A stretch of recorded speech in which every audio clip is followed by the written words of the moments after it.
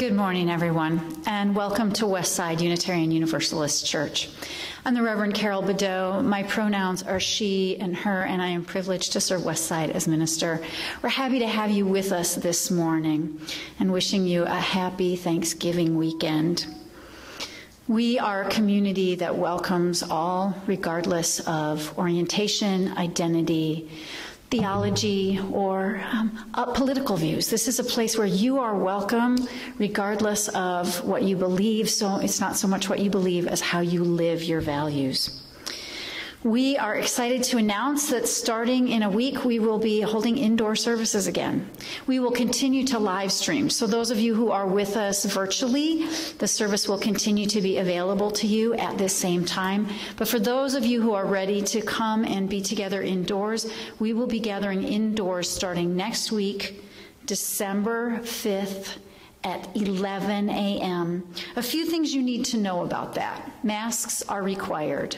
The speakers will be um, up here uh, in the chancel not using masks. We will take our masks down to speak, put them back up when we are not speaking. But those of you who are sitting in the sanctuary will be wearing masks at all times.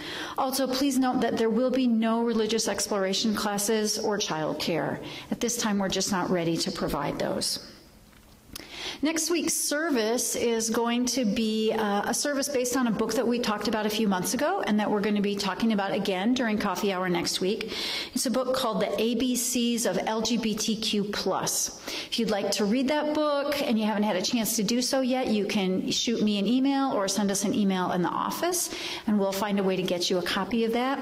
But you don't need to have read the book to discuss it with us. So the service will be from 11 to about 1140 and then we will have a conversation both virtually and in person during coffee hour. Also, starting in another week, uh, in about 10 days, starting on December 7th at 6 p.m., that's a Tuesday evening, for the 7th, the 14th, and the 21st, the first three Tuesdays in December, we're going to be doing an adult RE class. That's going to be virtually, not in person. And it's about exploring what it means to have Christian roots in the Unitarian Universalist tradition. So there are many um, UUs who have the experience of having Christian roots and Christian identity in some part of their life, but who have left that tradition and come to Unitarian Universalism. These three classes will be an opportunity to talk about what that means and how that feels for you.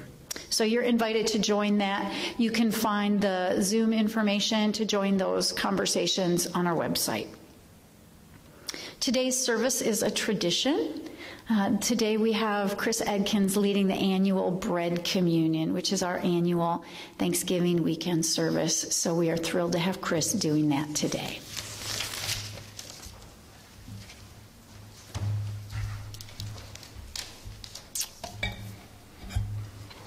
Hello, everyone. My name is Chris Edkins. Uh, I'm a lay leader here at Westside, and I'll be conducting the service today.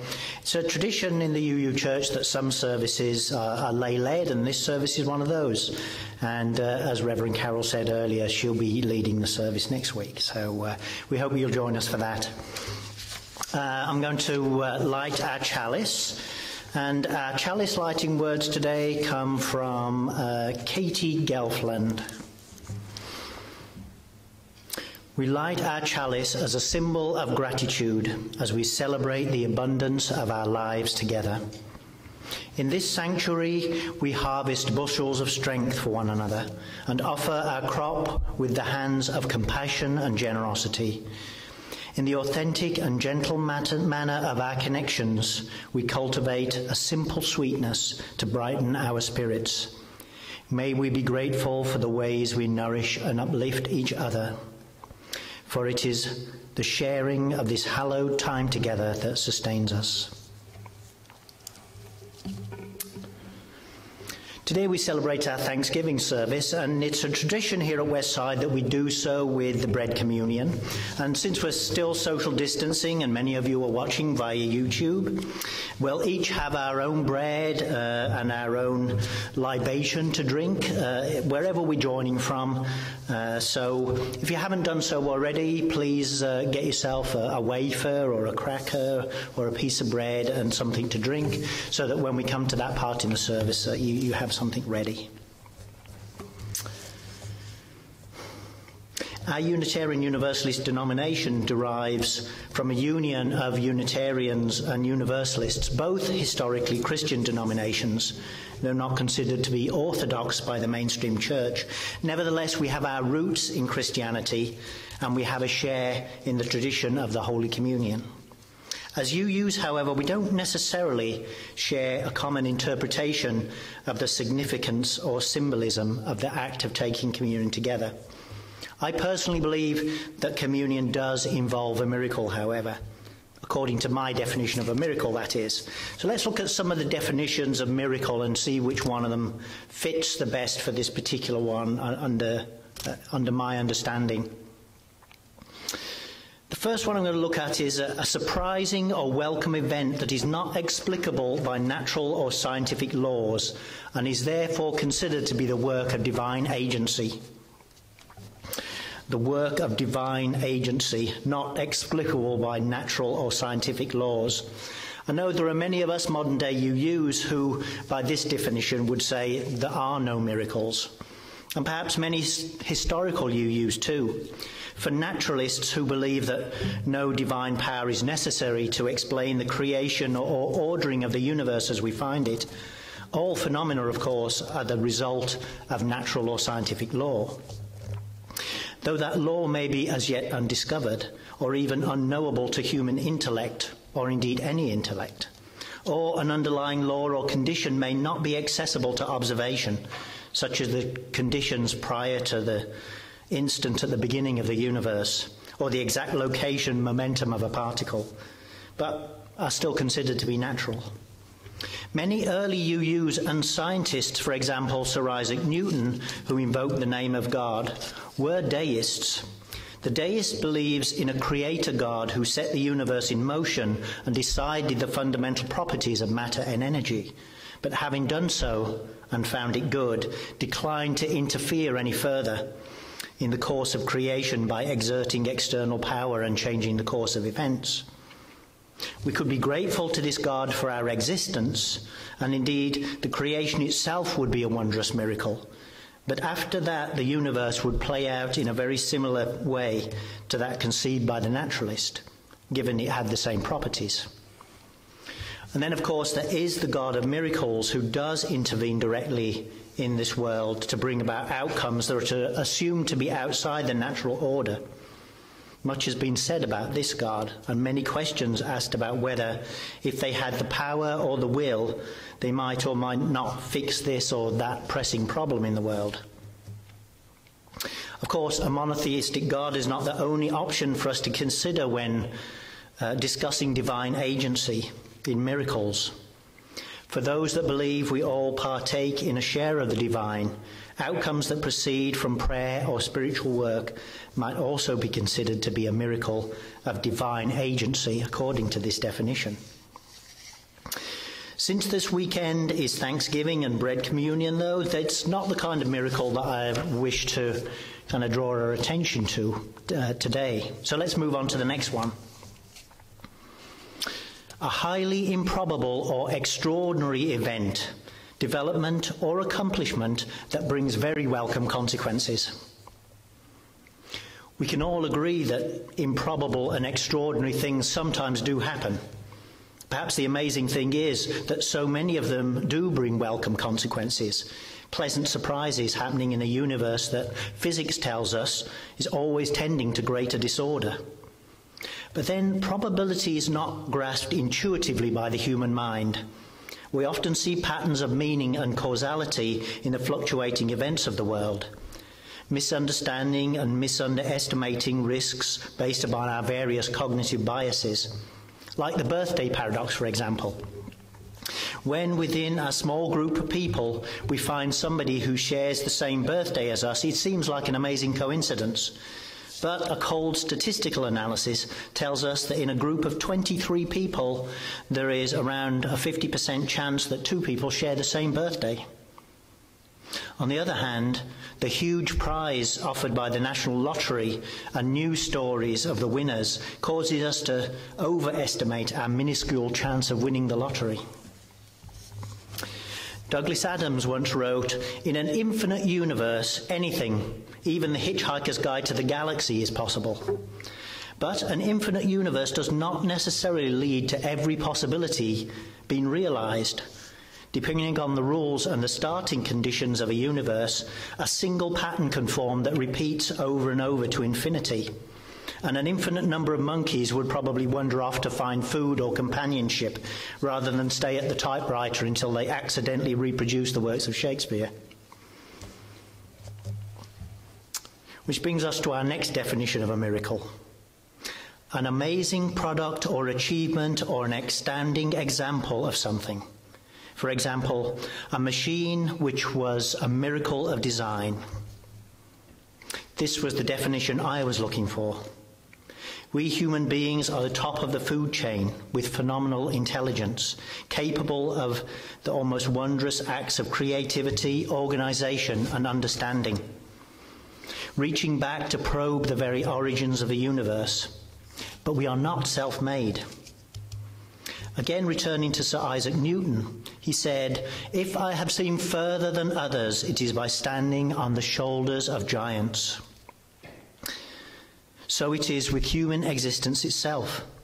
We stand not on the shoulders of giants, but float on oceans of algae, perch atop tall trees, ride on the backs of animals, wade through plains of grass, and are sustained by the buzzing of insects. For billions of years, the interdependent web of existence has formed and grown and changed on our planet. Without it, there would be no oxygen for humans to breathe, no food, only barren chemical elements and compounds baked by the harsh light of the sun. As we give thanks today, let us not forget that we are part of the great cycles of life and not separate from them. We owe our existence to them. The bread communion is an ancient ritual that has its roots in the Christian history of our denomination, and in it we formally eat and drink a symbolic morsel in keeping with our UU principles, there is no test of creed in order to participate.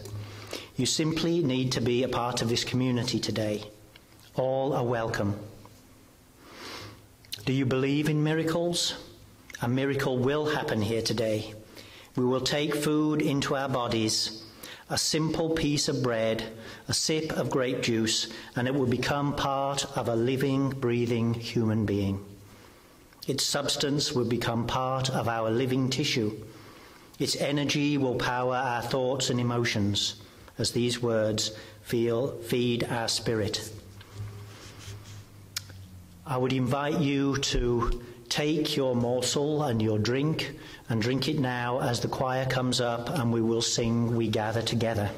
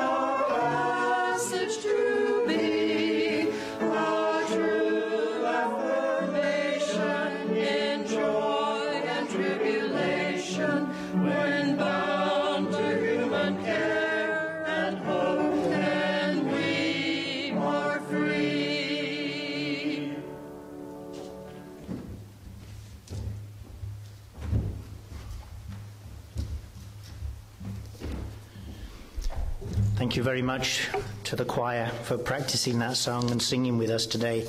First time we've had the choir sing in a long time. Beautiful. Thank you. Please join me in an attitude of prayer, meditation, or contemplation.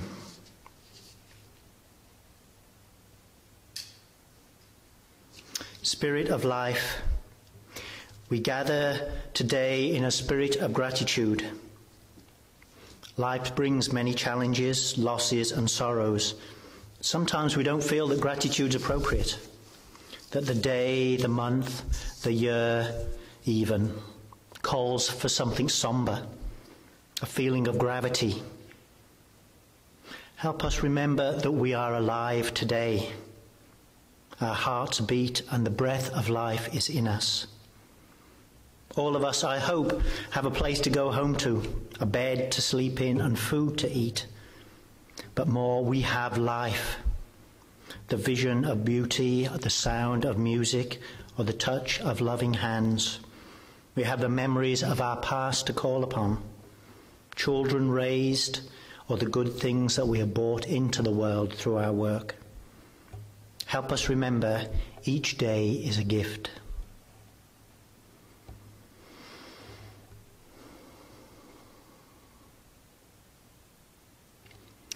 May I be filled with loving kindness. May I be well. May I be protected from inner and outer harm. May I know peace. May I be whole. May you be filled with loving kindness. May you be well. May you be protected from inner and outer harm. May you know peace. May you be whole. May we be filled with loving kindness. May we be well. May we be protected from inner and outer harm. May we know peace. May we be whole. May all beings everywhere be filled with loving kindness. May they be well. May they be protected from inner and outer harm. May all beings everywhere know peace. May they know spiritual wholeness. Amen.